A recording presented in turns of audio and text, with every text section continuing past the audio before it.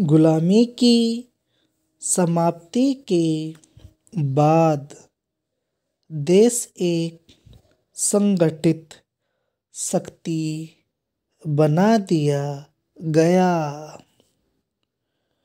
इस बात का निस्तारण किया गया कि हम सब एक समान हैं।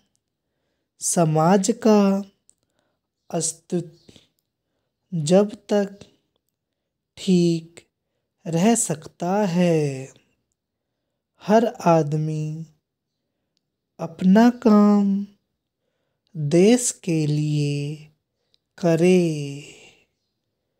काम मुश्किल हो या दुस्साहस से भरा हो, फिर भी साहस की ज़रूरत है।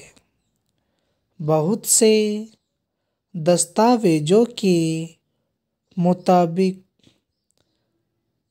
पाकिस्तान खाड़कुओं को मदद देता है, जिससे देश को नुकसान होता है और शरणार्थी की बात उठती है।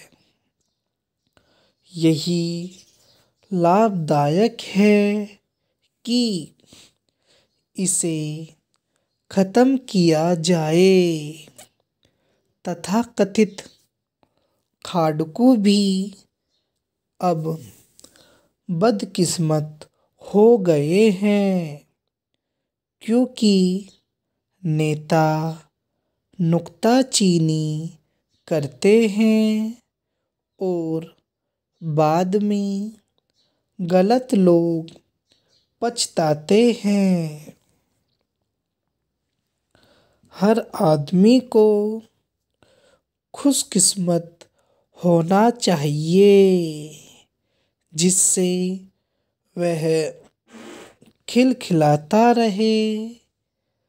आज टैंक, तोफ और हवाई जहाज़ दर्शनार्थ रखे हैं और इश्तहार भी बाटे।